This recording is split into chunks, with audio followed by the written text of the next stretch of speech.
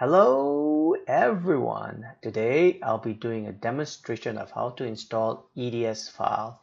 EDS stands for Electronic Data Sheet. It's basically a configuration slash driver for industrial equipment.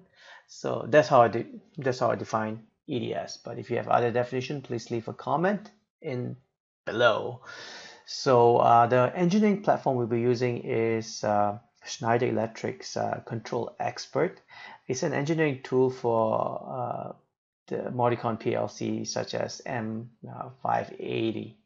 And the EDS file will be downloading will be for Allen Bradley's PowerFlex uh, 753 VFD driver. So um, I'm going to start my control expert here. Uh, VFD stands for variable frequency drive. Uh, like for uh, variable frequency drive actually supplies uh, higher AC voltage. Um, in, I'm from Canada. Uh, my outlet produces, uh, or I guess in America, the outlet power is 110 AC. So um, industrial equipment sometimes require upwards of 400 AC. So you use VFD to actually um, supply power or voltage to these devices. Anyway, let's get started. So we're going to select a, we, have started a new project. I'm going to use, uh, say, for example, 6040 hot standby CPU. Going to click OK. So uh, basically, it's going to create a project for you with all the appropriate uh, back panel and whatnot. Over here, I'm just going to say no. I'm not going to put password. I'm going to make things easy.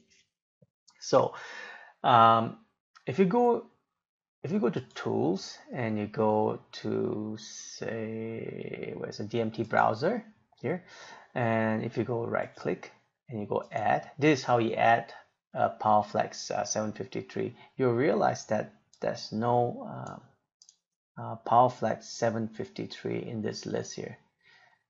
Uh, let's see here. They're in alphabetical order. Upside down PowerFlex 700 uh, 700 there's no 753 as you can see. So now we're going to go ahead and install uh, uh, the EDS file. But before you do that before you do that right you're going to have to download the uh, EDS file from Allen Bradley's website. Uh, you go ab.com right? You go download and then you go electronic data sheet okay um, instead of going this way let's try the other way. Um, if you google it I think it'll be faster. So it's a EDS EDS uh, PowerFlex 753 just like that. Find file download here. There you go. Comes up really quickly. Uh, this is is the VFD we're after. PowerFlex 753 you click this icon here. EDS file download download now direct download download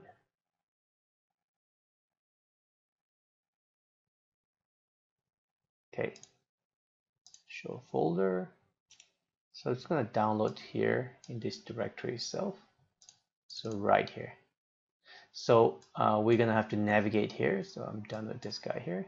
We're gonna have to navigate down here. Uh, so I'm gonna right click this, copy, and you're gonna go to uh, device menu, uh, additional function, add EDS file, next. So here you might want to select uh, all directories because if you look at your PowerFlex here. We've installed it here, right? So there's control net, device net, and all that stuff in here. So some of the devices, uh, some of the files might not be applicable to uh, this control expert. Um, so they will give you, they will issue an error message here. So if you go right click this guy again, device menu, additional function, EDS here. Um, oh you already have it open here so all directory and you to say look into the subfolder. Go browse. Uh, it was in download. And it was here right? And this is the directory that we're going to select. Select. Next.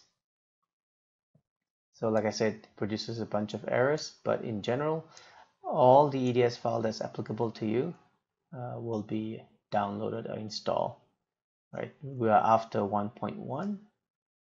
1.1, they are here, right? So which is good.